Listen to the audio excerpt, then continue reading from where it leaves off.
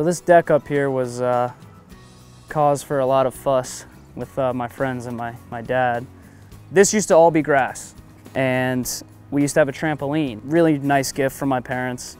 And the trampoline was always set up over like near the fence, you know. Whenever my parents would be out of, out of town or when they wouldn't be, when they wouldn't be home, we'd move the trampoline, a couple friends of mine, right over here to the edge of the deck and we would hop up on this baby and we would just jump down and just get sweet air. Getting injured doesn't cross your mind once. When you're young and dumb, do you think about that stuff?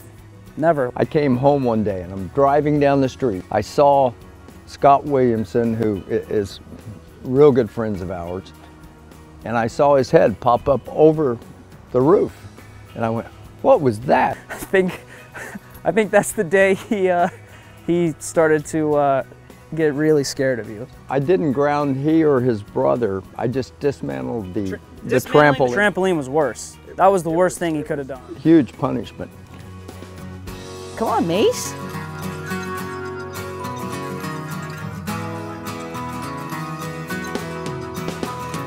So like, say probably half of this, con like from the concrete to the house, probably half of it was just a wooden deck.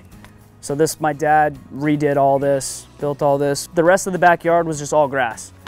I mean, we just had so much room to play and that was, I mean, that's where we were outside uh, all the time.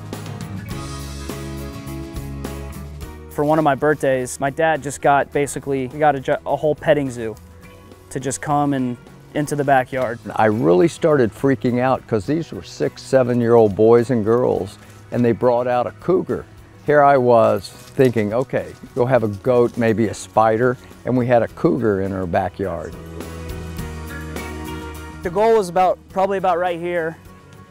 So as you can imagine, we would just kick the ball all the time. And I mean, our neighbors, thank God they're great people, but they, uh, I think they were getting pretty annoyed with us. So they would be like, listen, just come around, you can go through. But us being dumb, we would clearly jump the fence all the time and go get it. But uh, it was great because we had the goal over here. We had the, we had like this wooden swing set with like monkey bars and stuff. So that was one goal.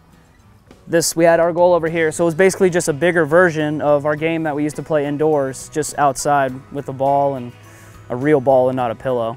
There was just so much space and I mean, that's the one thing, you know, like living in New York City and Jersey and I mean, the space is just so, take it for granted. It's so nice to have the space to be able to kick it around and run around back and forth. It worked out really good.